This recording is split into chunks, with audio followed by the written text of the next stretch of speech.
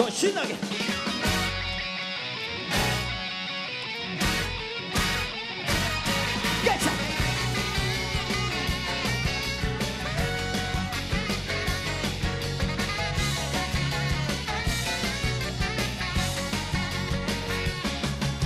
첫 번째 남자 고등학교 때 같은 학교 같은 수업된 남자친구래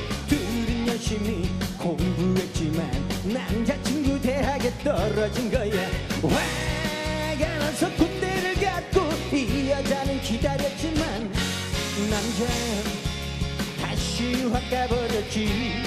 예예 첫사랑이란 안 되는구나. 여전 비관을 했고 다신 사랑 않겠다는 맹세했대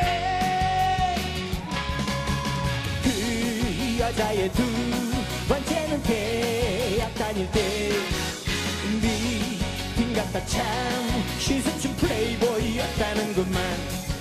세 번째 남자 사회 나와서 같은 직장 같은 기센 남자 동료래 둘인 첫눈에 반해버렸고 매일 그녀 집에 바래다 주었대. 아 그런데 남자 집에서 둘의 사이를 반대했나봐.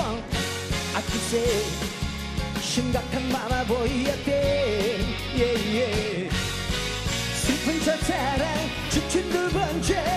세 번째 징그럽다고 눈물조차 나오지가 않는다고. 그 여자의 네